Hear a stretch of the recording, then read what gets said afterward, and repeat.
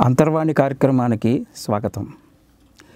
ఈరోజు శీర్షిక వేదమంత్రాలు అంత శక్తివంతమైనవా అనే విషయాన్ని గురించి వివరించుకుందాం. వేదమంత్రాలు అంత శక్తిమంతమా? మంత్రాలకు చింతకాయలు రాలవు అని కొందరంటే మరికొందరు మాటే మంత్రం అన్నారు. మన మాటకంత శక్తి ఉందా లేదా అనే విషయాలను తెలుసుకుందాం. మనం చిన్నప్పుడు మన అమ్మ నోట లాలిపాట వింటున్నాం. జోలాలి అంటూ అమ్మ లాలిపాట పాడగానే నిద్రలోకి జోగిపోతాం. ఆ పాటలో ఉన్న పదాలకు అర్థం ఆ పసిపాపకు తెలియకపోయినా నిద్రలోకి జారిపోతుంది కదా. మరి ఇది ఎలా జరిగింది?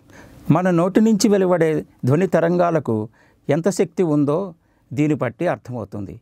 ఇలాగే మనం వేదమంత్రాన్ని ఉచ్చరించటం వల్ల మన చుట్టూ తయారయ్యే ఆ శబ్ద తరంగాలు ఆ ప్రాంతాన్నంతటినీ ప్రభావితం చేస్తాయి. అలాంటి వేదమంతరాలను మన మహర్షులు మనకు అందించారు. మనకు వేదం రాకపోయినా పర్వాలేదు. వారు వింటే చాలు లాభం చేకూరుతుందని అవధూతలు కూడా అంటూ ఉంటారు. అసలు ఈ ధ్వని తరంగాలకు అంత శక్తి ఎలా వచ్చింది? వేదాలను కూడా శృతులు అనే అన్నారు. ఒక విధంగా అవి కూడా ధ్వని తరంగాలే.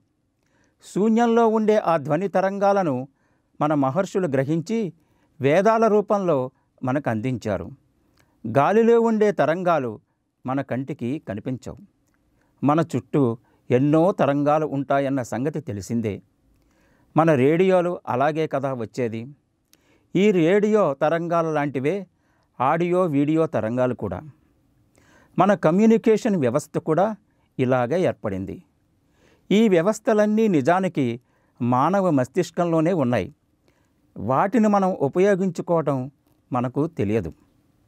పూర్వం మన ఋషులు యోగులు వీటిని బాగా ఉపయోగించుకుంటూ ఉంటారు. అంతెందుకు?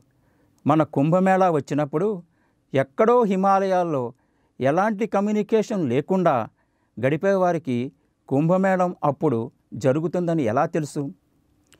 మన చుట్టూ ఎప్పుడూ మనకు తెలియని శక్తి తరంగాలు వాటి నిర్దిష్టమైన ఫ్రీక్వెన్స్తో మనల్ని చుట్టుముట్టే ఉంటాయి. మన రేడియోలో పాటలు అలాగే వస్తూ ఉంటాయి. మన మొబైల్ ఫోన్ల నుండి కాల్స్ను చాటింగులను ఫోటోలను అలాగే అందుకుంటున్నాం. ఈ తరంగాల్లో మంచివి ఉంటాయి చెడువు ఉంటాయి. మనం పాజిటివ్ వైబ్రేషన్తో ఉన్నప్పుడు అలాంటి వైబ్రేషన్ అందరిలోనూ వ్యాపిస్తుంది. ఒకవేళ మనం నెగిటివ్ వైబ్రేషన్లో ఉంటే ఎదుటి వ్యక్తిలోకి అవి ప్రసారం అవుతాయి మంత్రాలకు ఈ శక్తి అలా వచ్చింది. మంత్రం అనేది కేవలము ధ్వని. అది అలాంటి శక్తి తరంగాలతో ఉంటుంది. ప్రతి మంత్రానికి స్వర అనుస్వర ఉదాత్తలతో ఒక నిర్దిష్టమైన రీతిలో పలికే పద్ధతి ఉంది.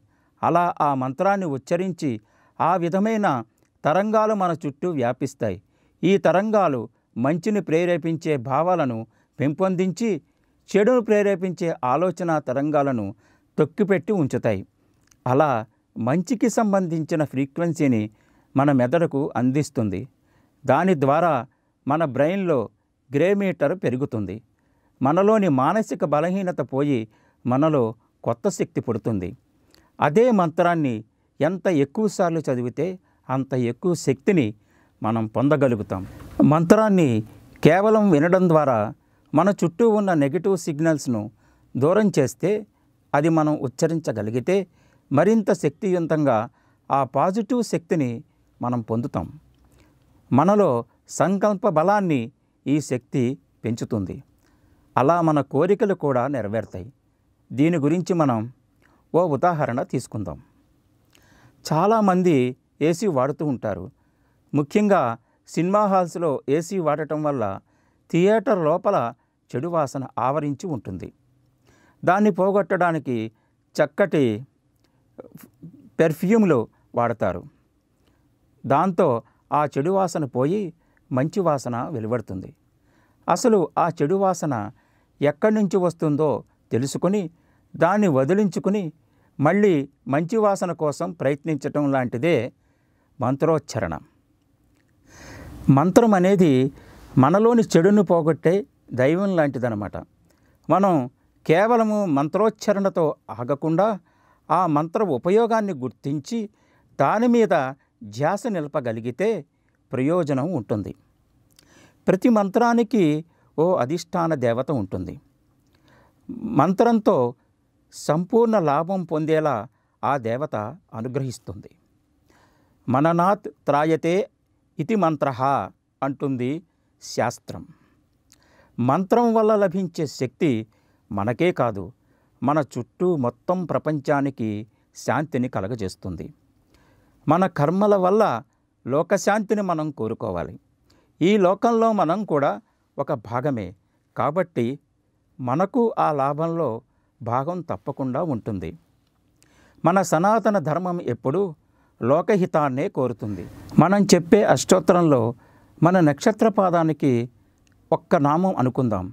మిగిలిన నూట ఏడు నామాలు అంటే ఇరవై ఏడు నక్షత్రాలు ఇంటూ నాలుగు పాదాలను లెక్కిస్తే నూట ఎనిమిది వస్తుంది.